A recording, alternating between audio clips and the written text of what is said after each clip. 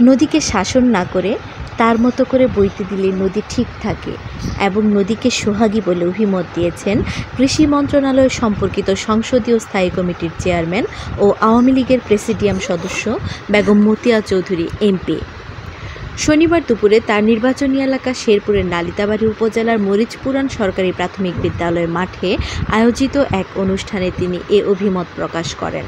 প্রধান অতিথির সংক্ষিপ্ত বক্তব্যে উপজেলার চেল্লাখালী ও ভোগাই নদীর বাঁধ নির্মাণ এবং শাসন সম্পর্কিত বিষয়ে ইঙ্গিত করে তিনি বলেন, চর কেটে দিলে পানি ছলছল করে নেমে যায়।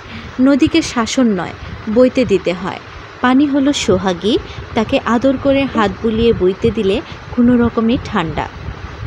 উপজেলা নির্বাহী কর্মকর্তা আরিফুর রহমানের সভাপতিত্বে এ সময় অন্যান্যের মধ্যে শেরপুরের পুলিশ সুপার কাজী আশরাফুল আজিম, সহকারী police super Nalitabari circle Jahangir Alam ছাড়াও উপজেলা আওয়ামী লীগ, কৃষক লীগ ও যুবলীগের নেতৃবৃন্দ এবং মেধাবী শিক্ষার্থী ও দুস্থরা উপস্থিত ছিলেন। পানি সরসর করে নেমে যাবে কাজে আর নদীর পাড় ভাঙবে না। পানিতে আ- আমি তো আমাদের কর্মীদের বলি, নেতাদের বলি যে পানি হলো সোহাগী। তাহলে মাথায় হাত বুলাইয়া বইন সইন কইয়া কোন রকমের বইতে দিলে সে ঠান্ডা।